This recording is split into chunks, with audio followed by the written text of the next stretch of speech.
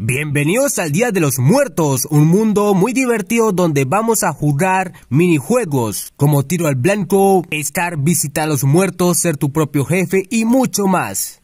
Acompáñeme en esta aventura. A trabajar. En este mundo vamos a iniciar como el Latán, sin un peso en el bolsillo, estamos súper pobres. Pobre cosita fea. Les tengo una mala y buena noticia. La mala es que nos toca trabajar en este nuevo mundo.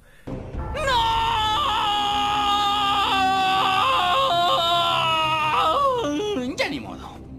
Pero tranquilos que la recompensa son muy muy buenas por trabajar. Los premios te los voy a contar más adelante. Nuestro primer oficio para llegar al éxito y ser millonario nos tocará ser repartidor de flores.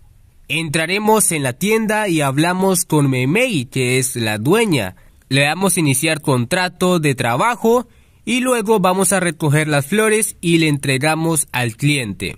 En la parte izquierda de la pantalla nos especifica qué tipo de flor y para qué cliente.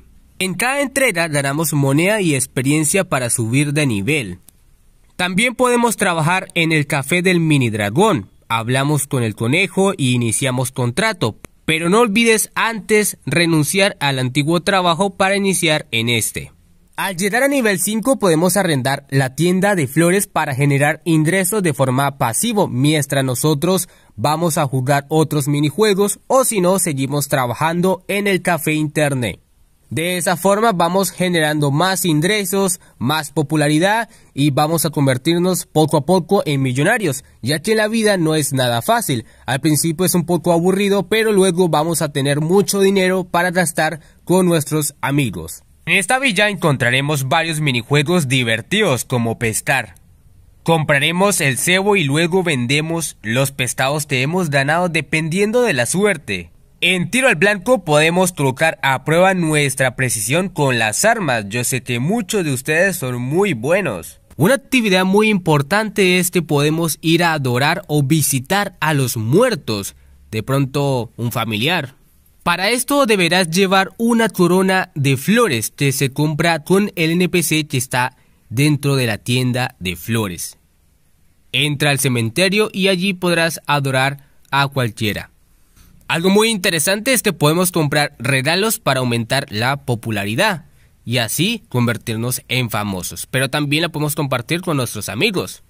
Llegamos con lo más importante que serían los premios, y es que para poder clasificar debemos convertirnos en un hombre muy millonario, con mucho dinero y hacer compras para generar más ingresos.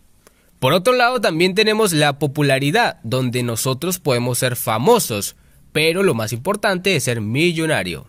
Los premios de los millonarios del top 1 al 5 de jugadores van a ganar a Joker y una skin que elija el ganador de forma permanente. Está muy muy bueno.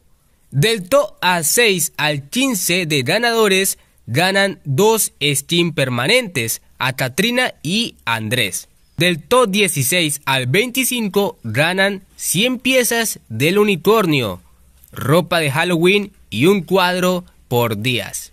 Del top 26 al 50 ganamos 500 frijoles y un traje de Halloween por días. Entra al juego y entra al evento.